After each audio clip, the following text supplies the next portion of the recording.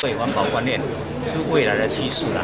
所以世界福德庙哈，在大概十五六年前哦，它由我来设计这一个环保建筑。啊，最重要就是它采用哦这再生纸啊，天然油墨，还有一个就是减量使用啦。人工新力无限，古力无变，一下子哦，马上要把它全部的那个金纸哦，改工取消，这是干讲讲，很多人就没办法适应。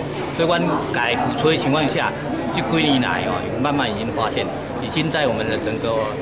金属的这使用量哦，已经达到四成，等于讲这环保金属啊。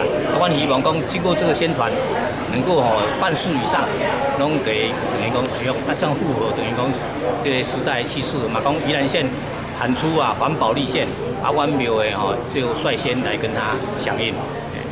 有这个呃宗教的信仰哦，那宜兰县政府呢在推动呃纸钱跟香跟。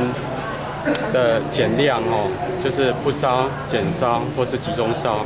那香的部分呢，我们鼓励啊不烧哈。那从我们呃去年跟今年的一个比较，我们所掌握的数据里面，县里面的纸钱的一个生产量哦，去年大概三千吨左右，那今年大概是两千吨，大概减少了一千吨左右哈。还有就是在呃。中元节的时候，哈，我们的统计数量啊，也从四百吨大概降到三百吨左右。